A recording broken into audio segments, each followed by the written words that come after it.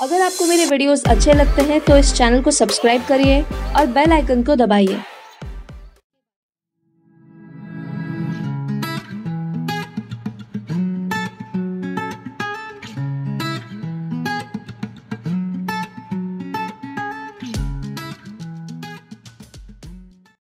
Ladakh, Jammu and Kashmir state का सबसे ऊँचा प्लेटू है at a height of 9000 feet above mean sea level ये जो बात हो रही है, ये 2019 की बात हो रही है। यानी कि अक्टूबर 2019 के बाद तो हमें पता है कि जम्मू और कश्मीर दो यूनियन टेरिटरी बनने वाले हैं और लद्दाख भी एक यूनियन टेरिटरी बनने वाला है। बट अगर इससे पहले की बात करें तो लद्दाख जम्मू एंड कश्मीर के स्टेट में आता था और जम्मू एंड कश्मीर का सबसे हाईएस्ट प्लेटू था लद्दाख। लद्दाख हिमालय से काराकोरम रेंज के बीच में आता है जहाँ पे काराकोरम उसके नॉर्थ में है और हिमालय उसके साउथ में है।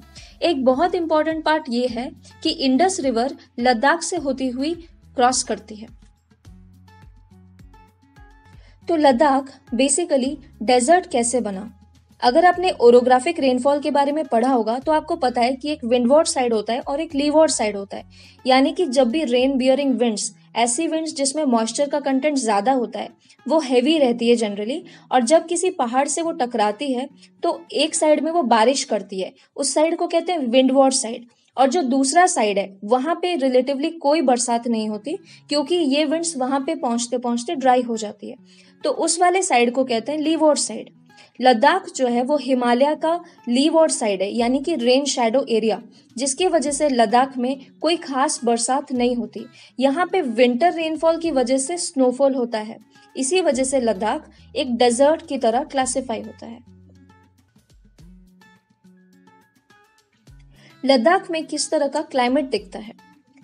समर के टाइम पे यहाँ पे ड्राई और बहुत ही सूदिंग क्लाइमेट होता है। जो टेम्परेचर यहाँ पे होता है, वो तीन से पैंतीस डिग्री का रहता है और विंटर के टाइम पे माइनस फोर्टी डिग्री जैसा चिलिंग क्लाइमेट लद्दाख में पाया जाता है। इंडिया का सबसे ठंडा जगह है द्रास, जो कि लद्दाख में सिचुएटेड है।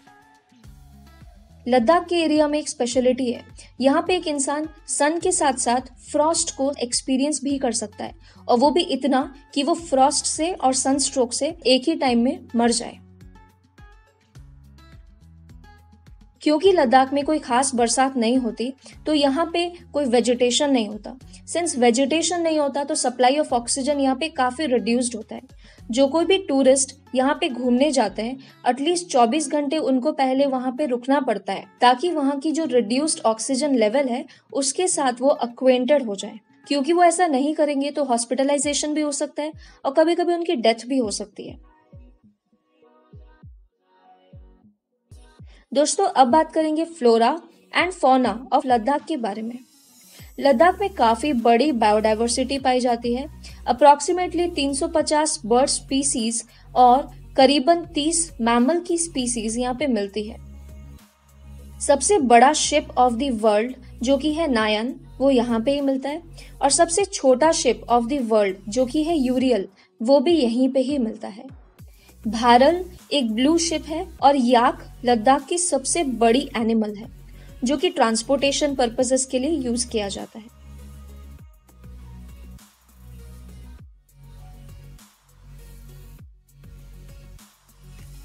इस एरिया में स्नो लेपर्ड पाया जाता है।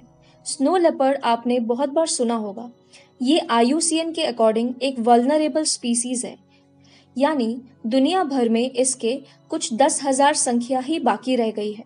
So it is in vulnerable category expected है कि और भी ज़्यादा ये डिक्रीज करती जा रही है। तो स्नो लेपर्ड एक बहुत इंपॉर्टेंट कंसर्न है for environmentalist as well as for the world ये स्नो लेपर्ड यहाँ पे मिलता है। एक और स्पीसीज है टिबेटन एंटीलोप जो कि एंडेंजर्ड स्पीसीज है। इसका कॉमन नेम है चिरू चिरू की यहाँ पे काफ़ी हंटिंग की गई, क्योंकि इससे एक खास तरह का वोल मिलता था, जिसका नाम था शाटूश शाटूस एक नेचुरल फाइबर था, जो कि काफ़ी फाइन क्वालिटी की थी। इसकी वजह से इतने सारे चीरूस को मारा गया कि अब ये स्पीसीज एंडेंजर्ड है। इस एनिमल को क्यों मारा जाता था? बाकी गोट और शिप्स की तरह इसका वुल आराम से भी तो निकाल सकते थे, उस जानवर को ज़िंदा रखे बेसिकली चिरू का जो वुल होता है, उसको हाथों से छीन करके निकालना पड़ता है, नोच करके निकालना पड़ता है। इसकी वजह से पहले उस एनिमल को मारा जाता है और फिर उसका जो वुल है, उसको नोच नोच करके निकाला जाता है। अब इस चक्कर में इतने सारे एनिमल्स का हंटिंग हुआ पोचिंग हुआ यहाँ पे कि वो बेचारे एंडेंजर्ड कैटेगरी में आ गए। अभी ये जो शॉल्स है, ये बैंड है।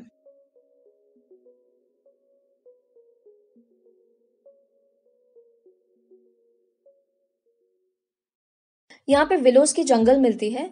विलोज वो लकड़ी है जिससे क्रिकेट बैट बनती है।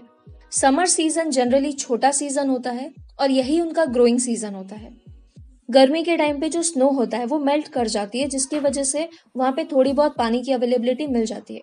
इससे कुछ छोटे मोटे घास फूस और थोड़े बहुत क्रॉपिंग्स वहाँ पे हो जाते हैं।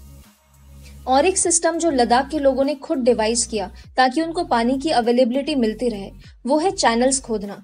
जैसे कि आपको पता होगा there is a system called as rain water harvesting ये क्या करते हैं? पहाड़ से होते हुए ज़मीन तक ये चैनल्स बना देते हैं।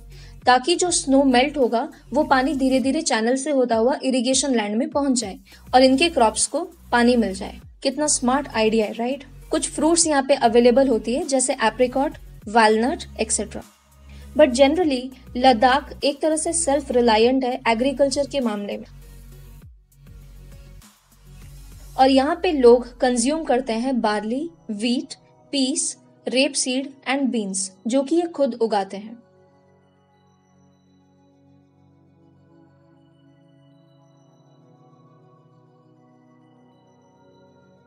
बात करते हैं लद्दाख में किस तरह के लोग होते हैं।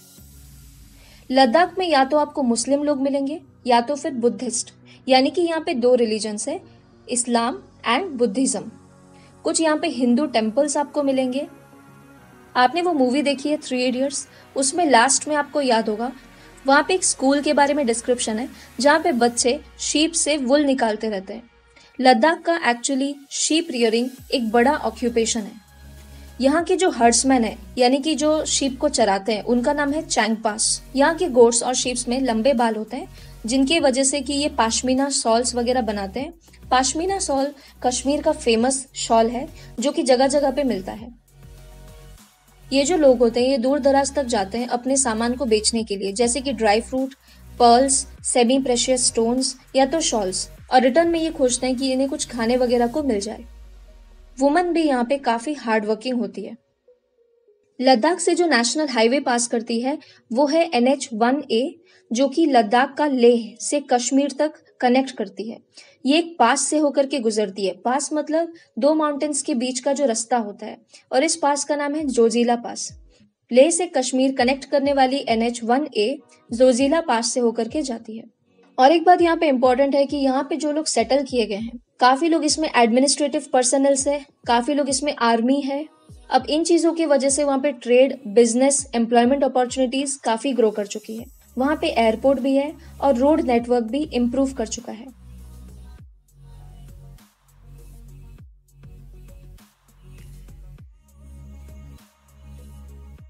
लद्दाख एक बहुत अच्छी एरिया है टूरिज़्म के लिए।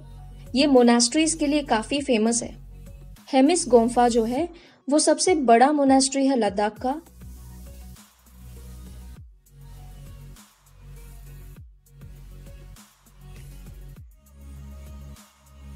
यहाँ पे जो बुद्धिस्ट पेंटिंग्स मिलती है, उनका नाम है थंका ये जो पेंटिंग्स है, ये अप्रोक्सीमेटली 12 मीटर लंबी है। हेमिस गुफा इन्हीं चीज़ों के लिए काफ़ी फ़ेमस है।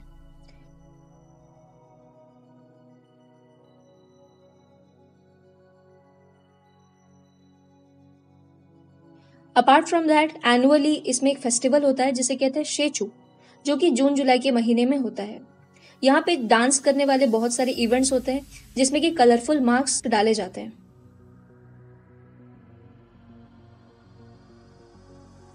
और एक मोनास्ट्री है लामायूरू मोनास्ट्री एक तीसरा मोनास्ट्री है शे मोनास्ट्री ये लेह के पास है. यहाँ पे लद्दाख के प्रिंस का एक बड़ा स्टैचू है और बुद्धा का एक गोल्ड प्लेटेड स्टैचू लद्दाख में है.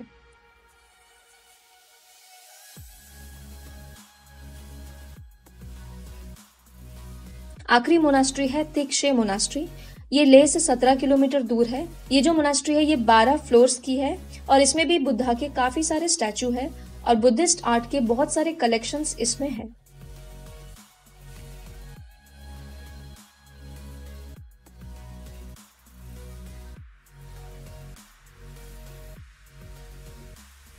तो ये था एक video about life in desert from NCERT seven standard I hope कि आपको ये वीडियो पसंद आया होगा। इस चैनल को सब्सक्राइब ज़रूर करिएगा। Thank you so much for watching have a nice day